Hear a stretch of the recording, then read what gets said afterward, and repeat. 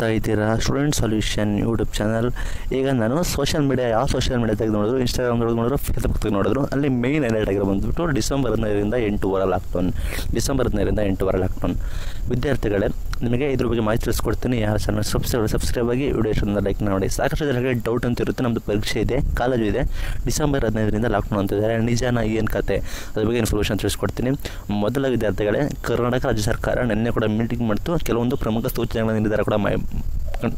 ಸೂಚನೆಗಳು ಪ್ರಮುಖ ನಿರ್ಧಾರವನ್ನು ನಿನ್ನೆ ಕೈಗೊಂಡಿದೆ. ಮಾನ್ಯ ಕರ್ನಾಟಕ ರಾಜ್ಯ ಸರ್ಕಾರ. ಬಟ್ ಈಗ ನ್ಯೂಸ್ ಚಾನಲ್ಗಳು ಏನು ಮಾಡ್ತೀವಿ ಅಂದರೆ ಕೆಲವೊಂದು ನ್ಯೂಸ್ ಚಾನಲ್ಗಳು ಎಲ್ಲ ನ್ಯೂಸ್ ಚಾನಲ್ಗಳಿಲ್ಲ ಕೆಲವು ನ್ಯೂಸ್ ಚಾನಲ್ಗಳು ಈ ಥರ ಲಾಕ್ಡೌನ್ ಮತ್ತು ಲಾಕ್ಡೌನ್ ಡಿಸೆಂಬರ್ ಲಾಕ್ಡೌನ್ ಅಂತ ಹೇಳ್ತಾ ಇದ್ದಾರೆ. ಆದರೆ ಸರ್ಕಾರ ಯಾವುದೇ, ಇದುವರೆಗೂ ಯಾವುದೇ ನಿರ್ಧಾರವನ್ನು ಕೂಡ ಕೈಗೊಂಡಿಲ್ಲ. ನಾನು ಪದೇ ಪದೇ ನ್ಯೂಸ್ ಎಲ್ಲ ವಿಸಿಟ್ ಮಾಡ್ತಾ ಇರ್ತೀನಿ. ಸರ್ಕಾರ ಇದುವರೆಗೂ ಯಾವುದೇ ನಿರ್ಧಾರವನ್ನು ಕೂಡ ಕೈಗೊಂಡಿಲ್ಲ. ಸರ್ಕಾರ ಮಟ್ಟದಲ್ಲಿ ಇನ್ನೂ ಕೂಡ ಯಾವುದೇ ಈ ಹೆವಿ ಅಂದರೆ ಕೊರೋನಾಗಿಲ್ಲದ ಜಾಸ್ತಿ ಕೂಡ ಕರ್ನಾಟಕದಲ್ಲಿ ಆಗಿಲ್ಲ ನೀವು ವಿಚಾರ ಮಾಡ್ಬೋದು.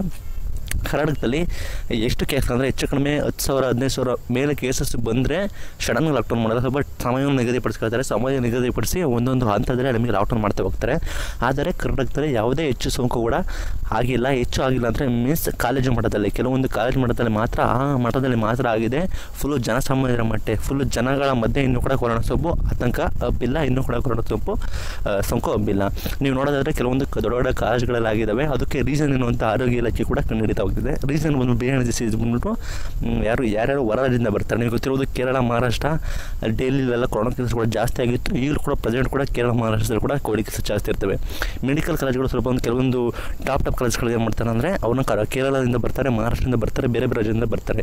ಆ ವಿದ್ಯಾರ್ಥಿಗಳನ್ನ ಡೈರೆಕ್ಟ್ ಕರ್ಕೊಂಡಿರ್ತಾರೆ ಯಾವುದೇ ಕೋವಿಡ್ ಟೆಸ್ಟ್ ಕೂಡ ಮಾಡಿಸಿಲ್ಲ.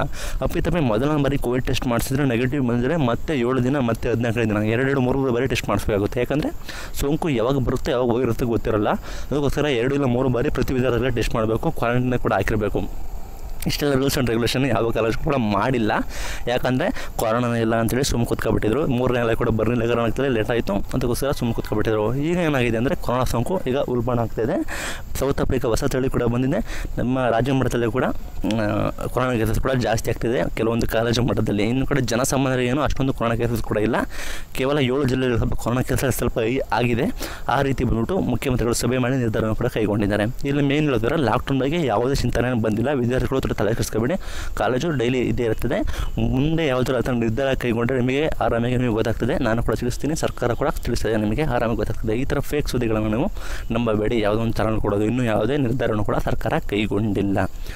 ಮತ್ತು ಹೇಳೋದಾದರೆ, ತಮ್ಮ ಕೊರೋನಾ ಸೋಂಕಿನ ಮಟ್ಟ ಯಾವ ರೀತಿ ಇದೆ, ಯಾವ ಜಿಲ್ಲೆಯಲ್ಲಿ ಎಷ್ಟು ಪರ್ಸೆಂಟೇಜ್ ಪಾಸಿಟಿವ್ ರೇಟ್ ನೀವು ಟೆಸ್ಟ್ ಟೆಸ್ಟ್ ಮಾಡ್ತಾರೆ, ಆ ಟೆಸ್ಟಿಗೆ ಎಷ್ಟು ನಿಮಗೆ ಪಾಸಿಟಿವ್ ಬರ್ತದೆ, ಆ ರೇಟು ಕೂಡ ಟೆಸ್ಟ್ ಮಾಡಿ, ಆ ರೇಟನ್ನು ಟೆಸ್ಟ್ ಮಾಡೋ ಮೂಲಕ ನಿಮಗೆ ಕೊರೋನಾ ಟೆಸ್ಟ್ ಜಾಸ್ತಿ ಇದ್ದರೆ ಮಾತ್ರ ನಿಮಗೆ ಲಾಕ್ಡೌನ್ ಚಿಂತನೆ ಮಾಡ್ತಿದೆ. ಎರಡು ವರ್ಷದಿಂದ ಲಾಕ್ಡೌನ್ ಮಾಡಿದ್ದಾರೆ ಎರಡು ಎರಡೆರಡು ಬಾರಿ. ಮತ್ತೆ ಪದೇ ಪದೇ ಲಾಕ್ಡೌನ್ಗೆ ಹೋಗಲ್ಲ ಅನ್ಕೋತೀನಿ.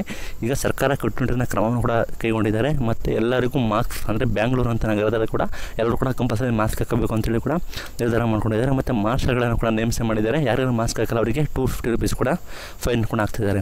ಇಷ್ಟೊಂದು ನಿರ್ಧಾರ ಕೈಗೊಂಡಿದ್ದಾರೆ. ಲಾಕ್ಡೌನ್ ಬಗ್ಗೆ ಯಾವುದೇ ನಿರ್ಧಾರ ಕೂಡ ಕೈಗೊಂಡಿಲ್ಲ. ಎಲ್ಲ ಫೇಕ್ ಫೇಕ್ ಸುದ್ದಿಗಳನ್ನು ನೀವು ನಂಬಬೇಡಿ. ಅಪ್ಪಿತಪ್ಪಿ ಕೈಗೊಂಡ್ರೆ ನಿಮಗೆ ಆರಾಮಾಗಿ ಗೊತ್ತಾಗ್ತದೆ. ಸರ್ಕಾರದವರೇ ಸರ್ಕಾರದ ಮುಖ್ಯಮಂತ್ರಿಗಳೇ, ಸರ್ಕಾರದ ಯಾವುದಾದ್ರು ಮಿನಿಸ್ಟರ್ ಅನೌನ್ಸ್ಮೆಂಟ್ ಕೂಡ ಮಾಡ್ತಾರೆ. ಲಾಕ್ಡೌನ್ ಕೊಡೋದಾದರೆ ಈ ಥರ ಸುದ್ದಿಗಳನ್ನು ನಂಬಬೇಡಿ. ಪ್ರತಿ ವ್ಯಕ್ತಿ ಅನೌನ್ಸ್ಮೆಂಟ್ ಮಾಡಿದಾಗ ನೀವು ನಂಬೋದು. ಸರ್ಕಾರದವರೇ ಅನೌನ್ಸ್ಮೆಂಟ್ ಮಾಡಿದಾಗ ನಿಮಗೆ ಗೊತ್ತಾಗ್ತದೆ. ಅಥವಾ ಅಫಿಷಿಯಲ್ ನೋಟಿಫಿಕೇಶನ್ ಕೂಡ ಹೊಡಿಸ್ತಾರೆ ಸರ್ಕಾರದವರು ಲಾಕ್ಡೌನ್ ಮಾಡೋದಾದರೆ ಆ ಚಿಂತನೆ ಮೀಟಿಂಗ್ ಇನ್ನೂ ಕೂಡ ಯಾವುದೂ ನಡೆದಿಲ್ಲ. ಲಾಕ್ಡೌನ್ ನಡೆಸೋ ಸ್ಥಿತಿಗೆ ಬಂದ್ಬಿಟ್ಟು ನಮ್ಮ ಕರ್ನಾಟಕ ಯಾವುದೇ ರೀತಿ ಇಲ್ಲ. ಏನಾದ್ರು ಅಪ್ಡೇಟ್ ನಾನು ತಿಳಿಸ್ಕೊಡ್ತೀನಿ. ಥ್ಯಾಂಕ್ ಯು ಫಾರ್ ವಾಚಿಂಗ್ ಇದ್ರೆ ಸಿಗೋಣ ಮುಂದಿನ ವೀಡಿಯೋದಲ್ಲಿ